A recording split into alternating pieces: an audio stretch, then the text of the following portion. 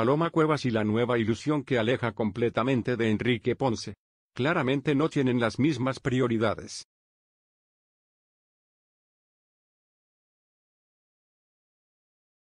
Paloma Cuevas y Enrique Ponce tuvieron un divorcio escandaloso, polémico y con muchísimo ruido alrededor.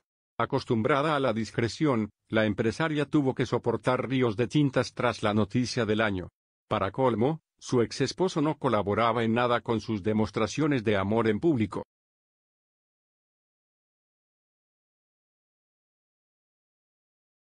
Ana Soria era el nombre que entraba en escena para justificar la separación de Enrique Ponce y Paloma Cuevas. Todo esto resultó un nuevo desafío, sobre todo para Paloma quien tuvo que soportar la presión de los medios de comunicación cuando siempre estuvo acostumbrada a llevar una vida discreta.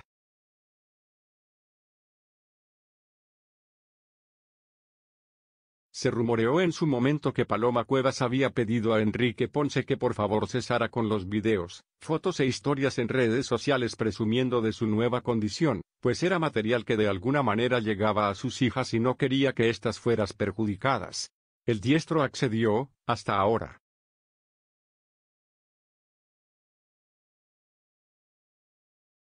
Una gran sorpresa nos despertó la semana pasada, la fotografía de Enrique Ponce y Ana Soria con un titular que decía le voy a pedir matrimonio a Ana. ¿Dónde quedó el acuerdo de confidencialidad? Nadie lo sabe.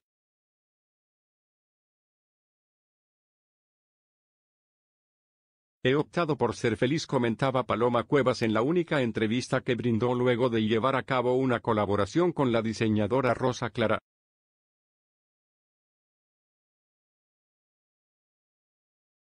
Mi vida sigue siendo muy parecida, porque siempre ha consistido en priorizar a mi familia, y a mis amigos marcando la clara diferencia con su ex esposo, ahora mismo no pienso en volver a casarme.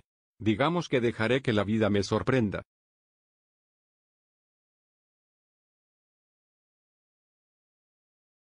Cierto es que la vida de Paloma Cuevas hoy no se parece en nada a la que compartía con Enrique Ponce.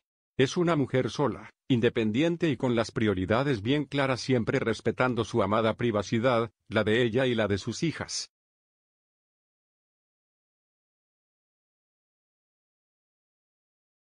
Enrique Ponce en cambio va por el camino contrario, y nadie interfiere en esas decisiones la única que podría detenerlo es Paloma Cuevas con solo una orden judicial, pero ese no sería el estilo de la empresaria.